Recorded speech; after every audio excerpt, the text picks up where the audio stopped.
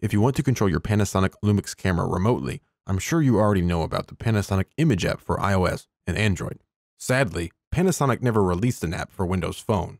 But fear not, there is a solution in the Microsoft Store, and it's not limited to your Windows Phone. It also works on any Windows 10 device, including your computer.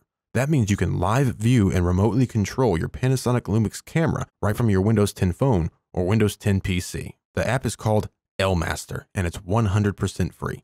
After you download and install, open the LMaster app. Head to the Wi-Fi settings of your Lumix camera. In this case, we are using a Panasonic Lumix G7 and we will control the camera from our computer, in this case, a Surface Pro. On the Lumix, I'll go to Wi-Fi, Wi-Fi function, new connection, remote shooting in view. This is the way I like to set it up.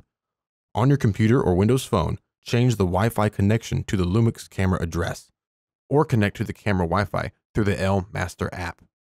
That's it. You should now see what your camera sees within the LMaster app. This makes it so much easier to compose a shot since we have a much larger screen to view.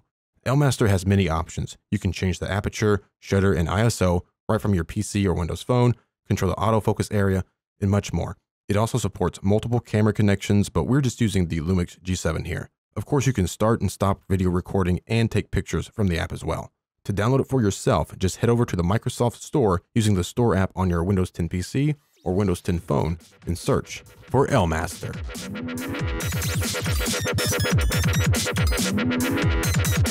Feeling